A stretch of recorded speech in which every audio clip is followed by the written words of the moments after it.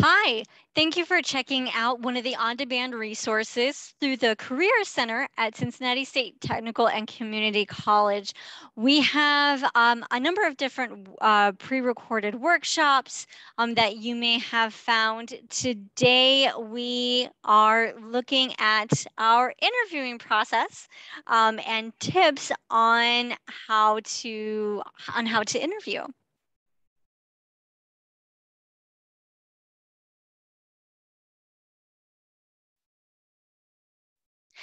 So, one of the first things that we want to do is to kind of go through the phases of the hiring process. So, eh, uh, so let's take a look at um, the hiring process overall. So first there's an application or you've networked um, and were able to get asked for an interview. Um, an employer could ask um, pre-questions uh, before having someone come in for an interview. So that might be a writing sample. Um, there could be personality assessments that they are looking for. So um, some of those things will happen before you officially interview. Um, and then um, we actually go through our interviewing rounds. So there could be a first round interview, second round interview, and so forth generally in this process um, of interviewing, it starts out over the phone and moves towards more person um, meetings and visits. So after you get uh, through your interviews, if you're the candidate that the employer has decided to offer the position to, um, that's when you can start talking salary negotiations, start dates, um, location confirmation benefits, um, and other things related to that.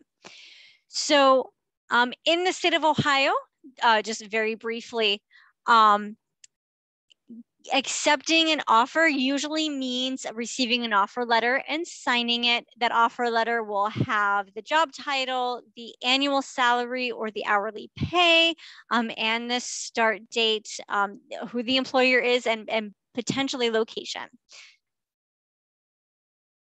All right, so what is an interview? An interview is a two way conversation that determines the fit between employee, position, and employer.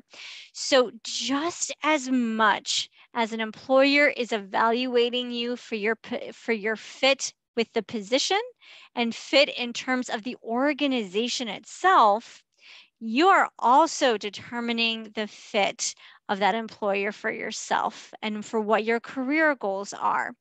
So the employer has already decided that you're potentially a good fit based off of your resume. The interview is what's going to get you the job. All right, so there are different types of interviews that you might come across. So there's a screening or the telephone interview.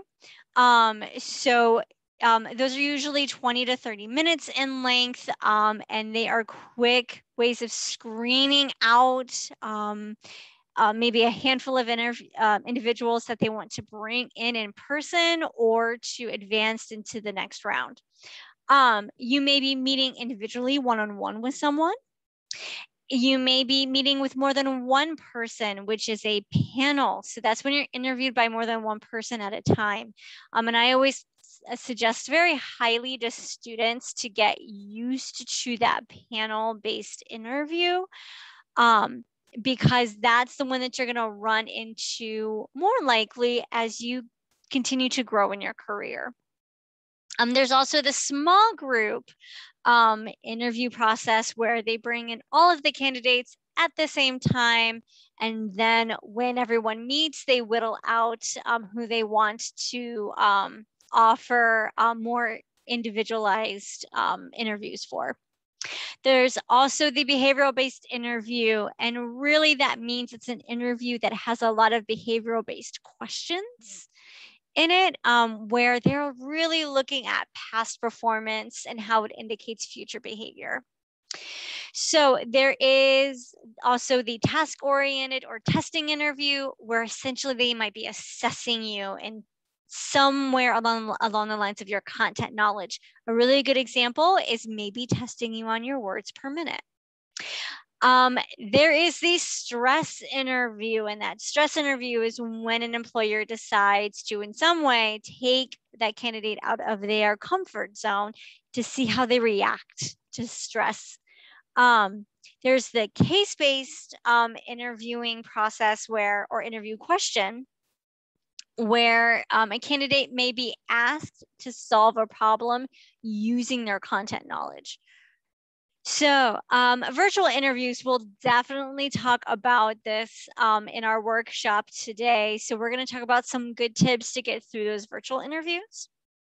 Um, there's also teacher interviews where um, a teacher um, will want to have pre-selected parts of lesson plans that they've created, not only to present them in portfolio fashion, but also um, to demonstrate to hiring committees. All right, phases of the single interview process. So um, first you're asked to come in for an interview right? That could be, you could be asked in person, you can be asked over the phone um, or through email. Um, then there's the pre-interview prep.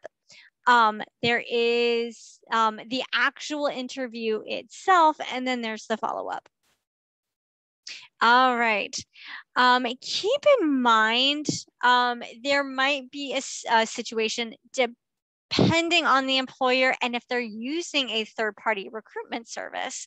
Um, when you answer the phone for an employer, um, before they even offer you the invitation that that that that they want to offer you, they might do some quick screening before that. Um, important tips um, confirm the position that they are referring to. I know this sounds really silly. However, you may be in situations in, in your life where you are heavy into the job search um, or, or the hiring process um, and you're looking for, for different work. So um, you'll need to make sure that, that you confirm what position they're actually talking about. Um, be clear about your availability um, and if an employer, if they open with when are you available, um, be straightforward to continue that um, that conversation. Um, thank the employer for the invitation and reinforce your excitement. Thank you so much for this invitation. I'm really excited about meeting with you on Thursday. Um, in general, uh, the first and last interview that a committee or a hiring manager has usually are the most easily rememberable um, for that committee or that person. Um, morning is best um, because it can be, uh, as someone who's been on hiring committees and has hired um, or helped hire, um, it can be a long day. so morning um, can be can be best. So you're definitely going to want to determine who, where, how, and agenda. So um, who are you meeting with? Where do you got to be? And um, what method are you using to meet? So is it going to be in person? Is it going to be over the phone? Um, and also agenda. So there might be occasions where hey you get into the second third round of an interview and you're still meeting more people they're still introducing you to new people. Um, they may have different things that they want you to do at their facility. You may go on a tour of it um, of that facility. So make sure you know what the agenda is for your day. All right, prepare and practice. So you are going to number one in your preparation, um, research the company. Make sure you know who they are. Um, check into their reputation. See if you know anyone that works there. Um, you can use their company website. There's usually a career portion or an about us um, that you can look at as well. And then you're going to want to uh, really dig into the, the job description because you can pull out what we like to call knowledge, skills, and abilities. So you can look at um, the job tasks that they're asking you to complete in the job description, you can look at the skills that they're listing and the education that they're listing and think to yourself, what kind of questions do I think they're going to ask me? What would I want to know if I were them? And then you're going to want to take with you um, the any portfolio that you might have, um, especially if um, your occupation relies on you creating things. They, they might want to be able to, to see what you, the work that you've done prior. Um, make sure you take your resumes, your references, make sure you take your cover letter that you submitted. Make sure you have copies if they need them. I mean, make sure you take a paper and pen um, because it is okay to take notes. Um, if you need to jot things down as you're trying to think through your answer. All right, and then prep your interview attire. You have one shot to make a really great impression. So make sure you put yourself together really well. All right. Um, making sure that you dress business professional is a safe choice that allows you to indicate to the employer that you're serious about the position and it shows a level of, of respect towards that employer. Much in the same way as making sure that you have submitted um, your resume and cover letter to them in addition to filling out their application. All right, so interviewing tips. Um, if you are going to be meeting in person, arrive 10 to 15 minutes early. All right, so that you've uh, you so that you've located where you need to park and that you've actually been able to get into the building, um, and that um, you are there on time or rather early. To be early is to be on time. Um, remember that your uh, behavior can be observed the second you get there. Um, it could be a janitor. It could be the individual that you check in with to let your interviewer know that you're there. So smile, um, be nice and cordial um, when you when you're interacting um, at the site. Uh, try to relax. I understand inter- interviews are very stressful. There's a lot of anxiety. There's a lot of pressure um, that goes with um, make, making sure you become employed, um, but also um, it increases the more you really want the job, right?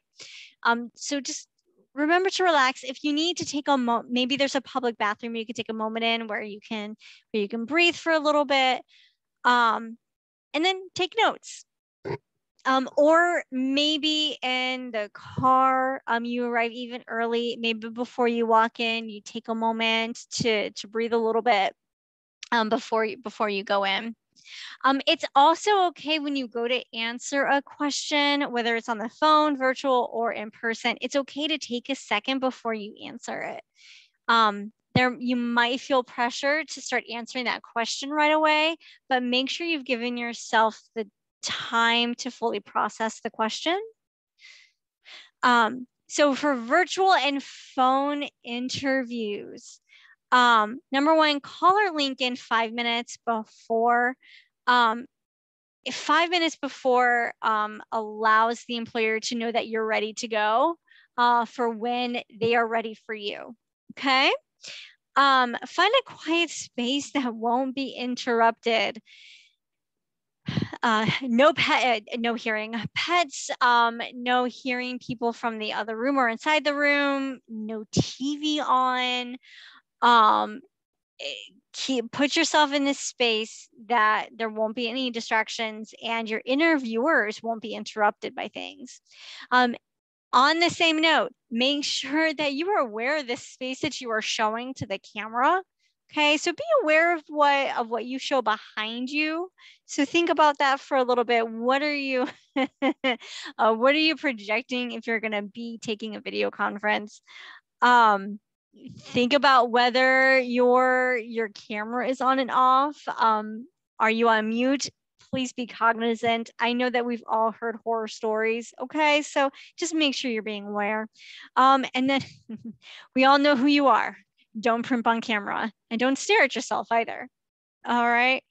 Um, whether you are on the phone or you're you're meeting with them virtually make sure that you make more of an effort to speak clearly because you now have this thing that's in between you and them and so that kind of creates um, can create some issues um, and can create um, it, it, different things that can happen um, so make sure that you speak clearly uh, and then, as always, you can take notes if you are an active um, listener. Uh, um, sometimes an active reader. Sometimes it just helps as you're as you're thinking through your answer.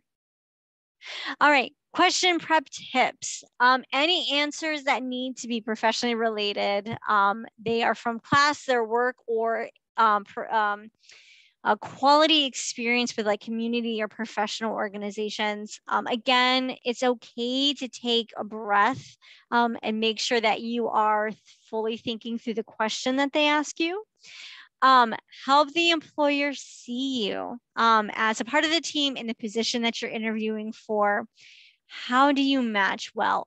Always relate it back to, to how you're going to match what they need really well and how you're a good match for the organization itself. So how do you how are you going to help them meet their mission or vision?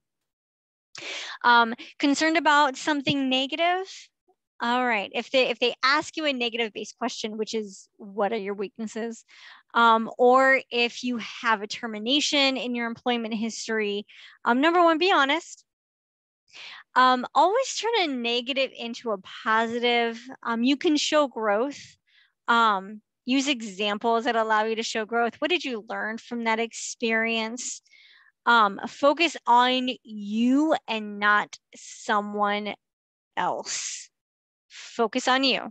It's not about it's not about that coworker or that crappy manager. It's about you.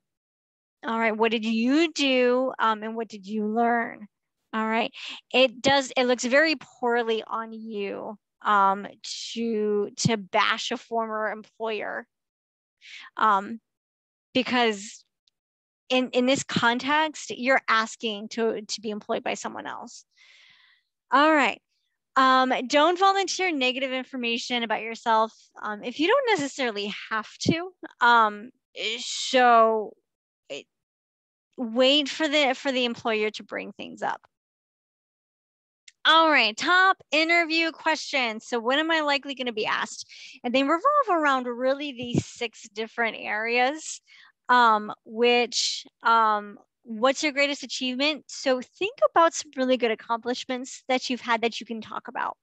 Uh, what do you know about the company? Make sure you're able to talk about why you want to work for them, what information in their history about what they do is going to be of real interest to you um, how would someone describe you? It could be coworker, supervisor, it could be subordinate.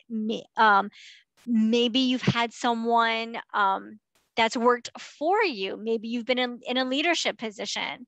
Um, how would that individual describe you?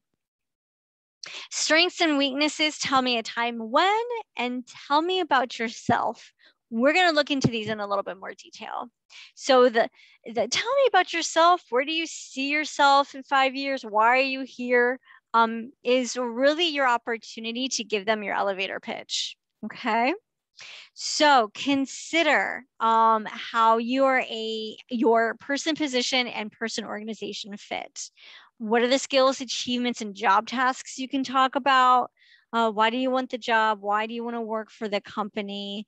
Um, and, and give a bit of an overview of who you are.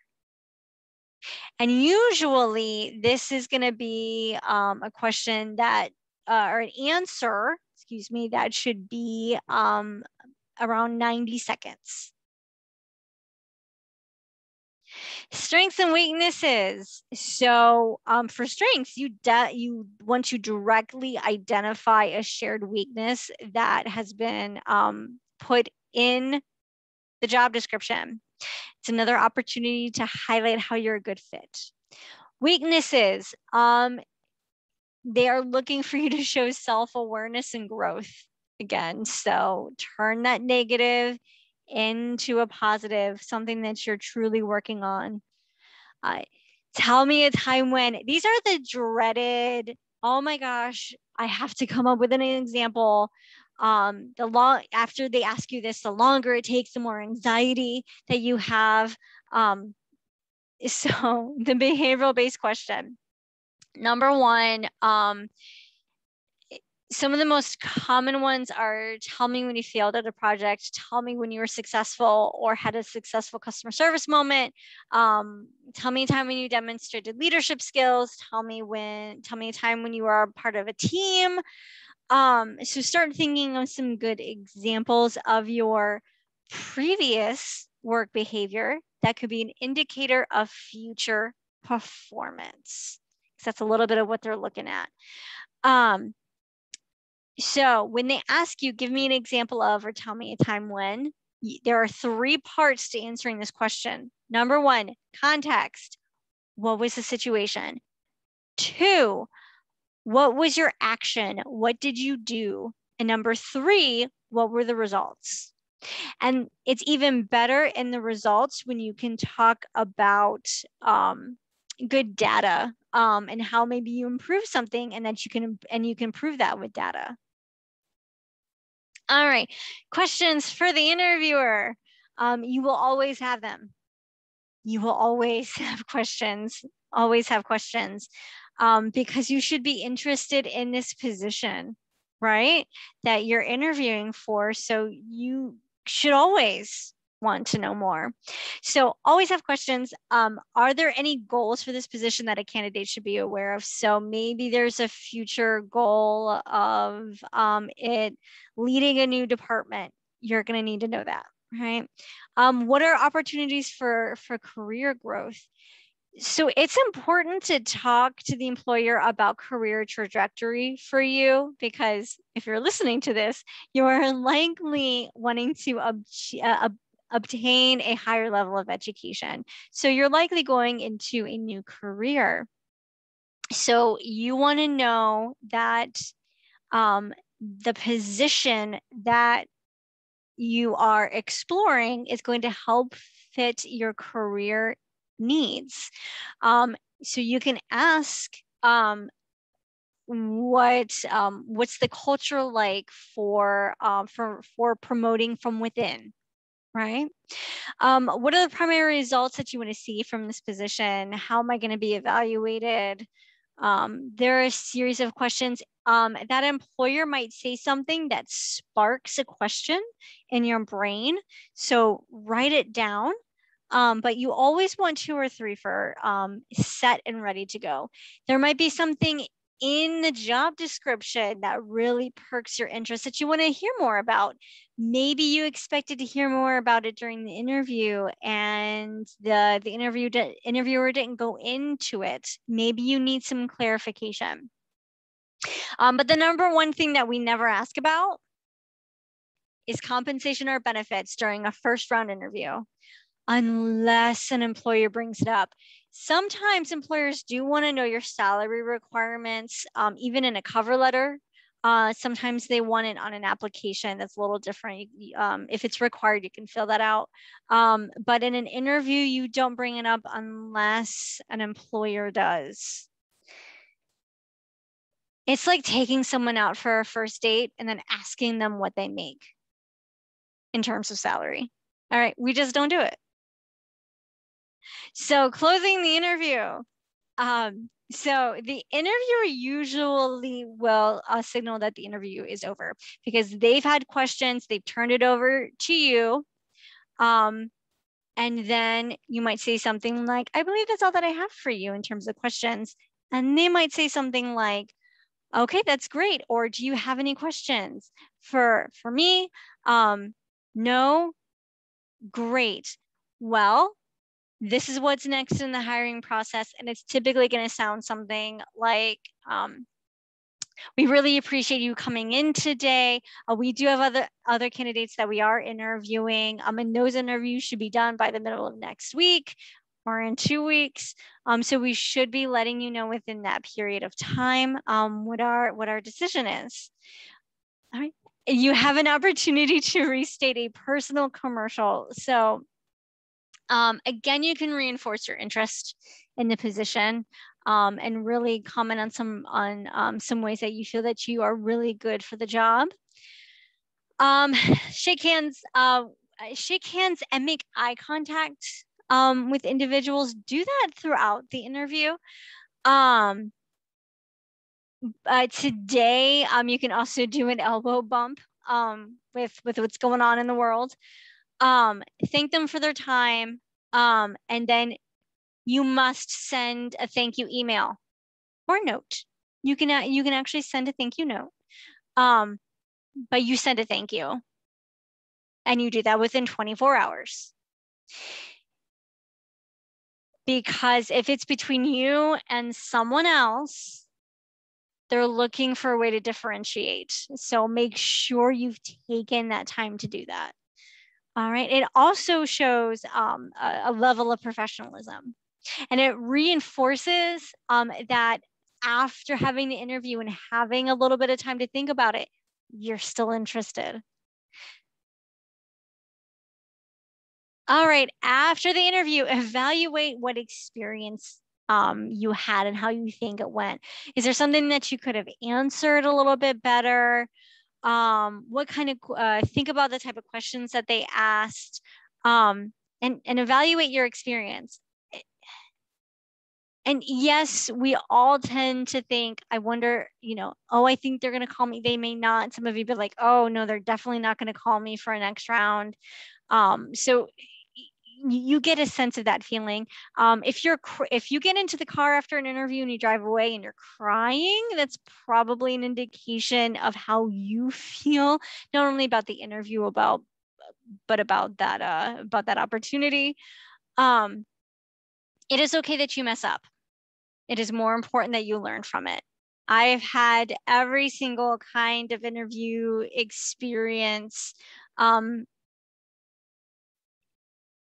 so you want to be resilient because you are human. Um you may may mess up. You may never hear from that employer. So you may never know why they didn't hire you. Even if you think you're the best person for for the job. Um, but we don't ghost employers. I, and, and I know that it's becoming a, a bit more of a trend now. And I know that there are some that um, there are uh, people that have gotten frustrated with not hearing from employers, but we don't ghost. Okay. Um, the other thing to think about related to all of this is something that you may not want to hear. Not every opportunity is meant for you especially when you start to look for after graduation positions, you might feel really pressured to find that position and to start your career and start it off on the right foot. Um, so that takes finding the right fit. And that's okay. Um, remember, how they treat a candidate will reflect how they treat an employee. So if you had a poor hiring experience or a poor interview experience um, and, and you and some red flags were raised about who they are as an employee and as a and um, as a company um, that's probably an indication of what it's going to be like to work for them. And on that note discrimination and employee rights. In general no they don't have to give you the job but there should be equal opportunity to be considered for the position so in the United States, we have certain things about us that are are we are not allowed to be discriminated against for okay? We call those protected classes. And so really we focus a lot on gender religion ethnicity national origin um, age um, there's also um, disability as well um, sexual orientation. So there are things that not only do you not want to necessarily reference in your interview answers, um, but they're not really allowed to ask them themselves as well. So um, marital status and children that relates more to um, gender and being female. Um, as, as far as gender being a protected class. Um, And age, by the way, age is 40 and up. So I, I, I, want you guys to, to think about this. You can't discriminate against anyone that is 40 or older, but that also makes it um, makes it not illegal to consider someone's age if they are under 40. So um, if you are asked illegal or discriminatory questions, um, you don't have to answer the question. There's a couple ways that you can go about this. Number one, um, if you don't answer the question, you can tell them, I don't feel comfortable answering that question. I feel it's inappropriate. I'd rather focus on um, how um, my previous position had me do a lot of the things that you're asking of this position or how my education really helped prepare me. So take it back to the position. Um, you could say, I don't feel comfortable um, answering that question and I'm going to opt to to um, stop this interview as we as it is right now. So you can just stop the interview. Um, All right, some um, pre-employment screening. So some of the things that um, they are going to to look in um, in on when considering you. So there are reference checks. So my suggestion is if you get into the hiring process, um, second round interviews, and you really think they're going to offer um, you the position, make sure you check in with your references. Um, there's nothing worse than being surprised, getting that surprise phone call. Hey, do you remember so and so? So you might want to check in with the people with the references that you sent them.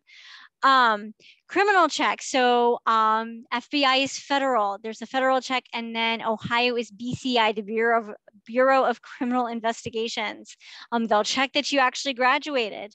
Um, they'll check where you've worked before. Um, if you are responsible for transportation in, in, in, any way, and it could be that that you're using a company car, um, driver's license history. Um, credit checks, yes, they can look into um, your financially your credit history. Um, and uh, that could be um, if you are going to be in a leadership or supervisory experience, or especially if you're going to be in an industry where it's heavy in finance.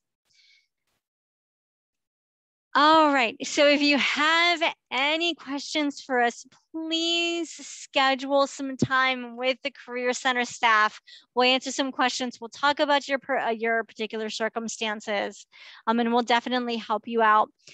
I'd imagine if you're if you're listening in or watching this workshop you likely have an interview scheduled in the near future so schedule some time with us we'll go through a mock interview with you Again, thank you so much for checking out these, these on-demand resources. If you have any questions or if you need us, please don't hesitate to reach out.